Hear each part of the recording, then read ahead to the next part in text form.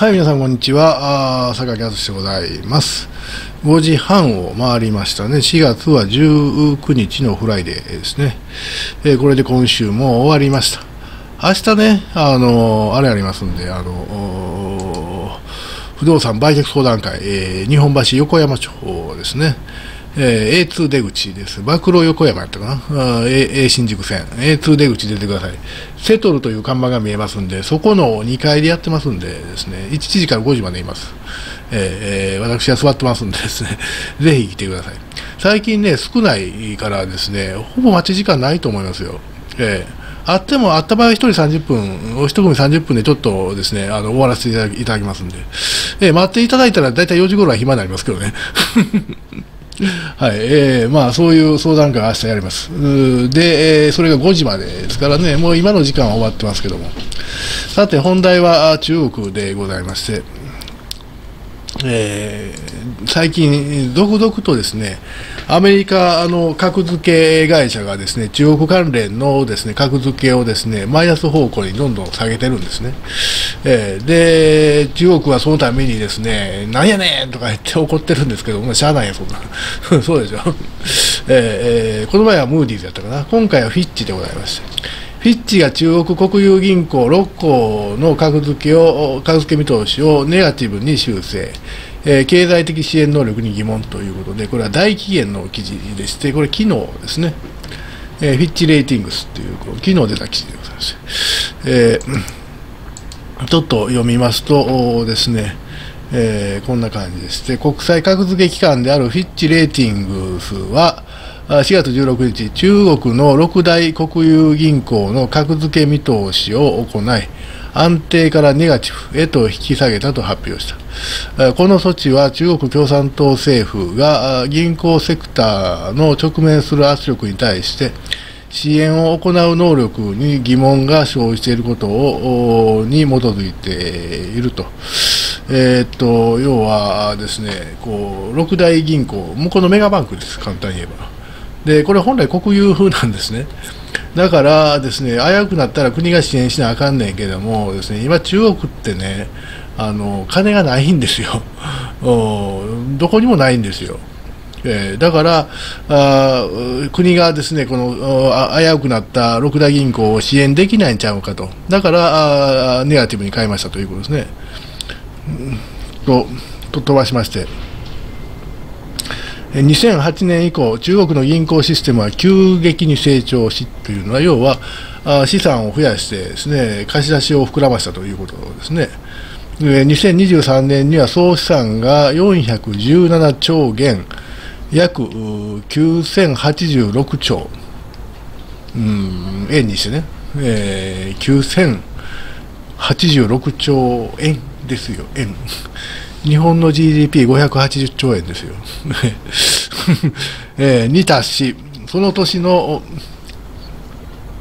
あれですね、えっと、中国国内総生産 GDP の330%に匹敵する規模になったと。えー、これは銀行全部の資産だと思います。でもちょっとやりすぎですよね。えー、GDP の330%、3.3倍も銀行が資産持ってるって。うんふーんって もうそんなんちょっと無理ちゃうんかなと。さらに6つの主要な国有銀行が市場の40%を占めている。うん中国共産党政府は19の銀行を国内で重要な銀行と認定しているが、その数の多さが政府の銀行システムへの支援能力の支援能力に限界を生じさせていると。まあ、そういうことでですね、まあ、下げたということですね。はい、ちょっと他もありますけど、省略をいたしましょう。一応貼っときますね。あの何度も申し上げてるんですけども、えっと、今の中国のバブル崩壊っていうのは、人類がこれまでの歴史で経験したです、ね、最も大きなバブル崩壊です。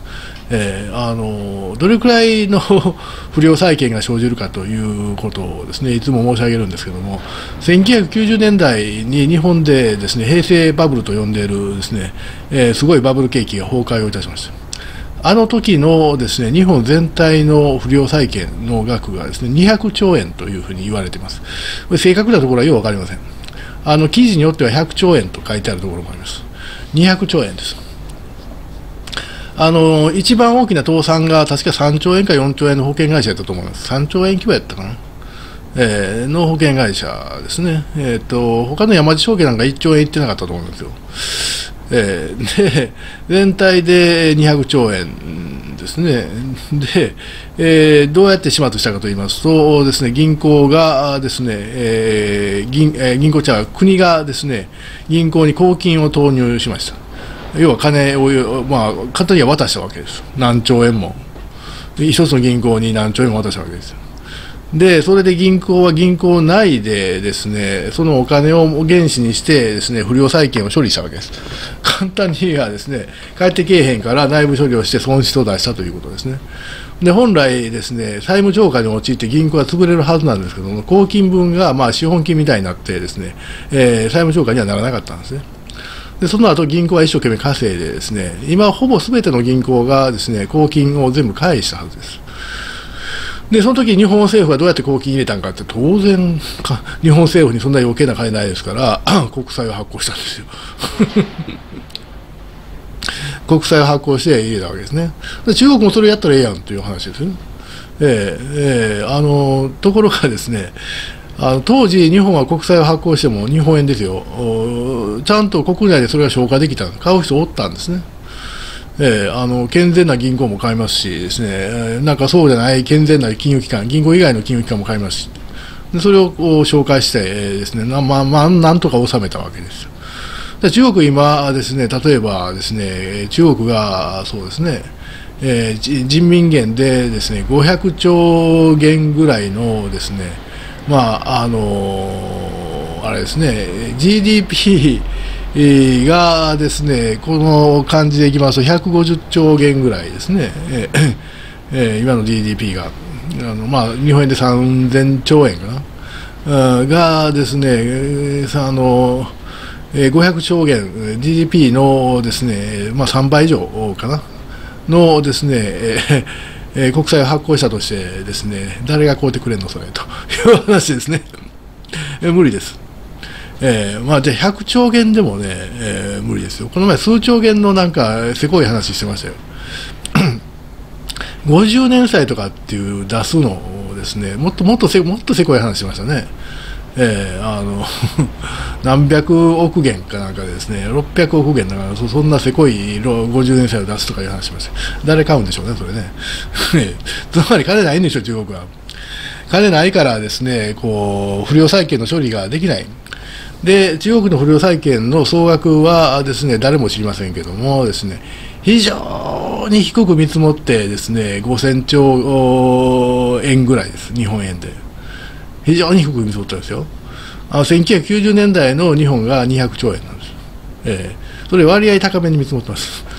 で中国は低めに見積もって5000兆円。で5000兆円ですね。円にしてね。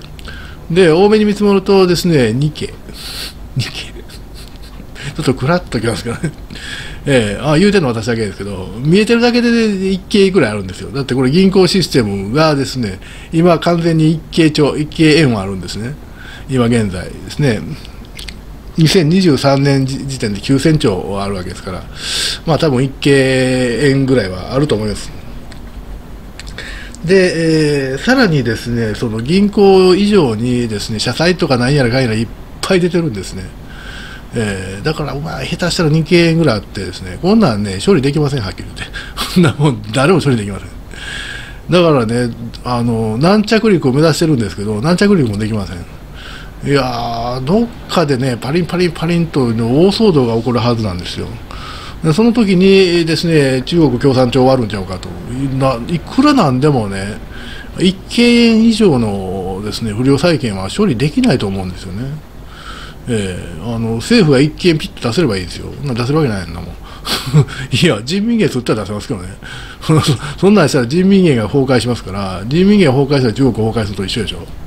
えー、なんで無理かなと私は思ってます。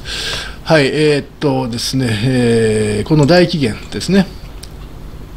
え、フィッチが中国国有銀行6個の格付け見通しをネガティブという記事でございます。え、一応このアドレスを貼っておきますね。はい、皆さんどうもありがとうございました。